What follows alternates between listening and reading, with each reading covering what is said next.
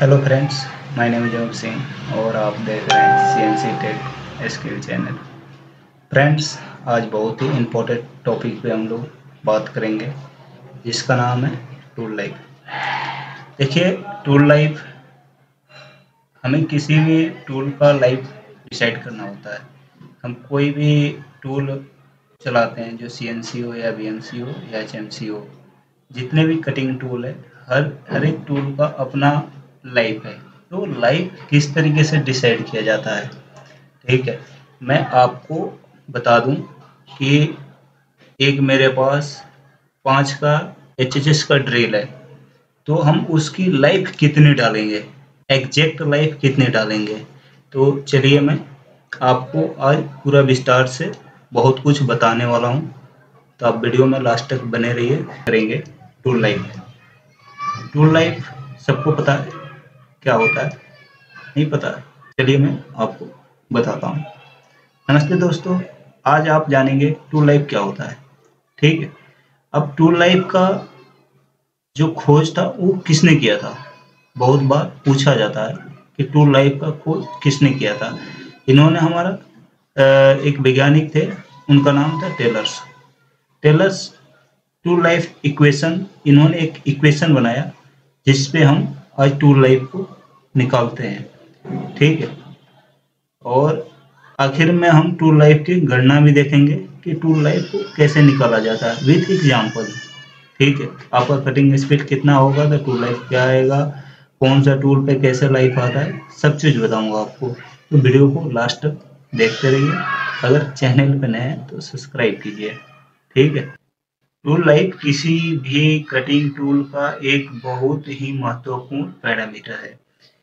क्योंकि tool life के माध्यम से हम जानते हैं कि इस कटिंग टूल का उपयोग कब तक किया जा सकता है राइट सही ये बात है कि हम जब तक टूल लाइफ नहीं डालेंगे, तब तक इसका पता ही नहीं चलेगा कि इसका लाइफ कब खत्म होगा। जैसे हम कोई सा टूल है, उसका लाइफ अगर मशीन में डाल देते हैं तो हमें पता रहता है कि हमने दस हज़ार पार्ट बनाए बारह हज़ार खराब हो जाएगा तो एक दो घंटा बाद इस टूल को चेंज करना होगा, ठीक है?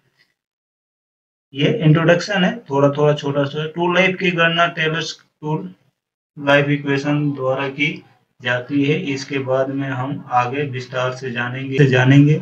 तो बिना समय गंवाए चलिए शुरू करते हैं। सोम why of define tool life ठीक है, हम चलिए टूल लाइफ कैसे कैसे डिफाइन करते हैं।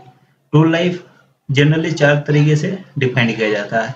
एक होता है एक्चुअल कटिंग टाइम ठीक है मैंने ये टूल कितना मिनट तक कटिंग कर सकता है लगातार राइट एक होता है वॉल्यूम ऑफ़ मटेरियल कट मतलब कितना वॉल्यूम मटेरियल काट सकता है ये टूल तीसरा होता है, तीसरा है नंबर ऑफ़ पार्ट प्रोड्यूस मैंने कितना पार्ट ये प्रोड्यूस कर सकता है, मैंने बना सकता है. एक होता है लेंथ ऑफ़ पार्ट प्रोड्यूस मैंने कितना लेंथ तक ये टूल काट सकता है, दस मीटर, बीस मीटर, तीस मीटर. तो इस तरीके से, चार तरीके से हम टूल की लाइफ को डिफाइंड करते हैं राइट तो चलिए आगे बढ़ते हैं। एक आपको मैं फिगर दिखाता हूँ।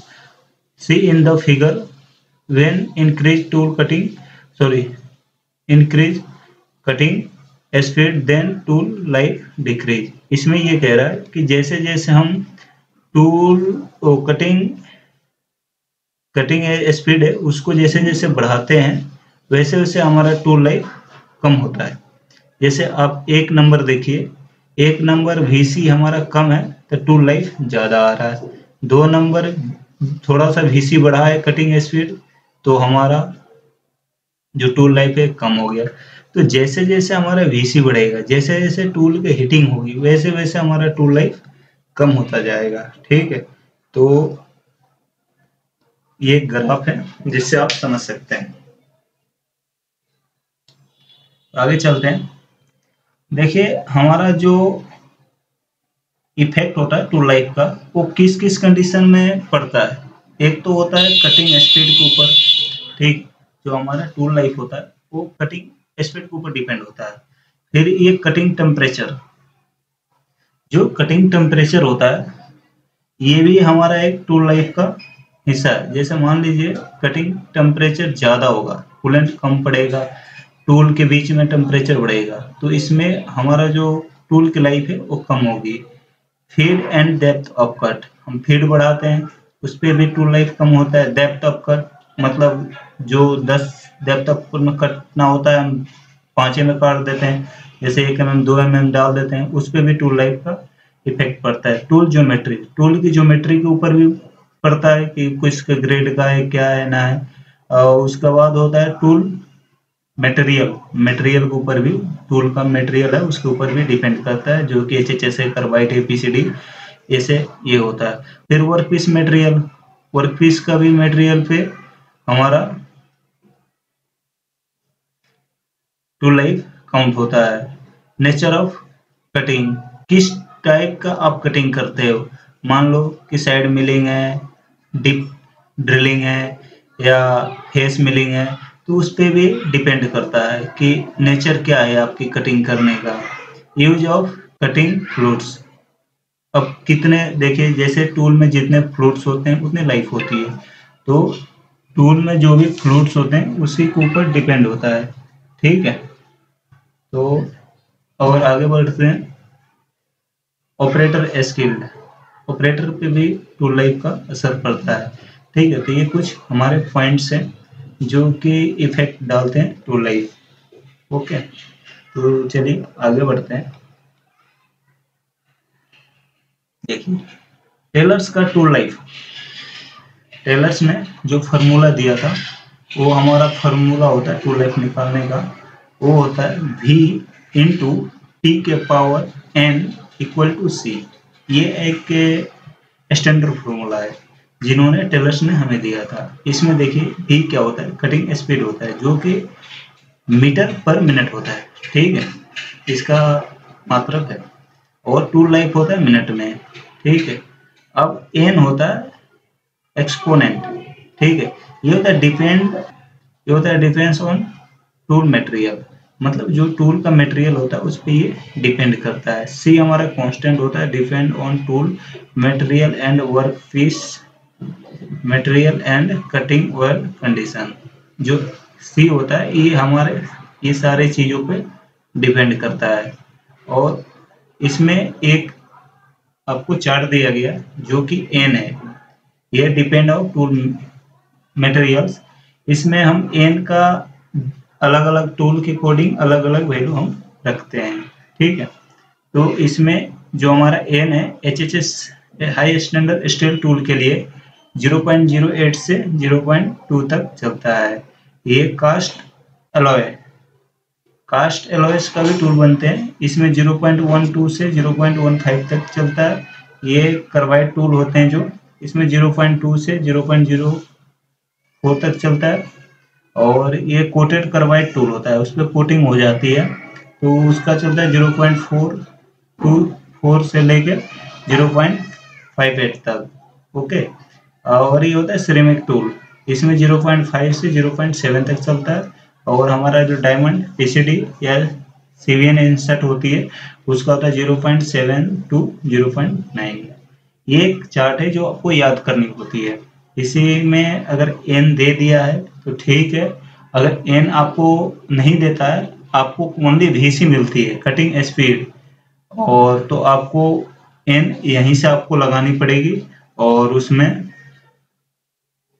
टी भी अगर मिल जाए तो मैंने इसमें होता है क्या है कि आपको वीसी दे दी जाती है और टाइम बता दी जाती है। तो उसमें हमें अगर वीसी कम करके अगर टाइम निकालने, अगर आपसे कोई भी टूल लाइफ पूछे तो आप अभी चलिए आगे डिस्कस करेंगे। उसके ऊपर न्यूमेरिकल है, आपको बताऊँगा, ठीक है। एक मॉडिफाई वर्जन है, जो कि ये मॉडिफाई किया गया इस फॉर्मूले से भी हम टू लाइफ निकालते हैं, जो कि ये भी और टी का पावर एन इसमें एफ़ और डी इंक्लूड हो गया, जो कि फ़ीड रेट है और ये हमारा डेप्थ ऑफ़ कट है, ठीक है? तो ये दो चीज़ इंक्लूड करके भी हम टू लाइफ निकालते हैं, ठीक है?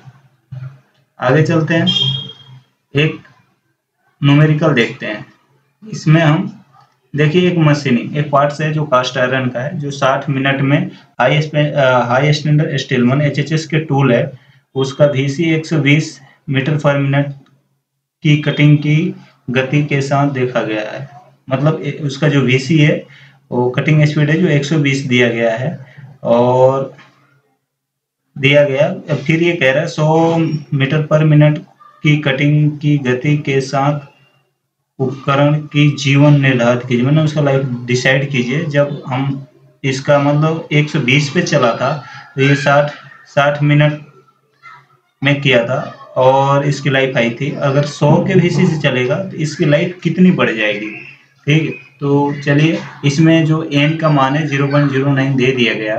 ठीक है? तो हमें गिवन दिया है 60 मिनट और टाइम है और वीसी है 120 एम mm पर मिनट और एन का पावर दे दिया। हमें टाइम निकालना है। ठीक है, मैंने इसके वीसी के अकॉर्डिंग तो हमने सॉल्यूशन किया है। क्या इसका सॉल्यूशन है? देखिए, ये जो हमारा टेलर्स का नियम था, वो हम यहाँ पे लिखे हैं। उनका जो फार्मूला था वी इक्वल टू टी के power N equal to C ठीक है, हमने क्या किया कि दोनों तरफ़ इसको वी वन टी वन मान लिया, इसको वी टू टी टू मान लिया इक्वल टू सी ठीक है तो इसमें कोई दिक्कत आने का नहीं। आप लोग पढ़े होंगे, माना कि ये, ठीक है? तो हमारा जो वी वन है वी वन यहाँ एक सौ बीस है, ठीक है, जो वी सी है, और टी भी दे रखा है साठ मिनट, ठीक है? तो टी भी लगा दिया एन के पावर भी दे रखा है तो इसको लगा के सी कर दी। इसको जब हमने कैलकुलेशन किया तो हमारा इतना आ गया, ठीक है? सी का मान इतना आ गया। तो अब हमें क्या करना है? टी टू निकालना था, मैंने टाइम निकालनी। अब इसी फॉर्मूला में हमें ये तो सौ दे दिया है यहाँ पे डीसी ओके? और यहाँ पे हमें टी टू निकालना है, और सी कमान हमें यहाँ से मिल गया। तो हम इसको जब सॉल्व करेंगे तो जब ये इन, जो पावर है, इधर आएगा तो अपॉन में आ जाएगा one upon zero point nine और इसको इसको नीचे ये भी इधर जाएगा डाउन में चला जाएगा। डिवाइड में तो डिवाइड कीजिएगा तो इतना आएगा। इतना आएगा, फिर one by zero point zero nine में डिवाइड कीजिएगा तो पावर इलेवन पॉइंट इलेवन हो जाएगा। राइट तो टी का जो मान आएगा, इतना मिनट बढ़ जाएगा। अगर हम भीसी कम करेंगे तो ज़ाहिर सी बात है कि हमारा जो लाइफ है, वो बढ़ेगा। तो हमारा कितना, बहुत ज़्यादा फ़र्क पड़ रहा है। अगर वीसी जितने कम चलाएँगे, उतने हमारा टूल लाइफ बढ़ेगा। तो मैं उम्मीद करता हूँ आपको समझ में आया होगा। आप लोग निकालिए और ये हो गया मॉडिफाई वर्जन इसके बाद नेक्स्ट वीडियो इसके ऊपर बनाऊँगा। ठीक है? और आपको समझाने के मैंने पूरा कोशिश किया। अगर कुछ भी ना समझ में आए तो आप कमेंट कीजिए। और दूसरी बात, जिन भाई को ये पीडीएफ चाहिए तो मेरे को व्हाट्सअप कर सकते हैं। मेरा व्हाट्सअप नंबर ये है। इस पर आप व्हाट्सअप कीजिए। मैं आपको ज़रूर शेयर करूँगा।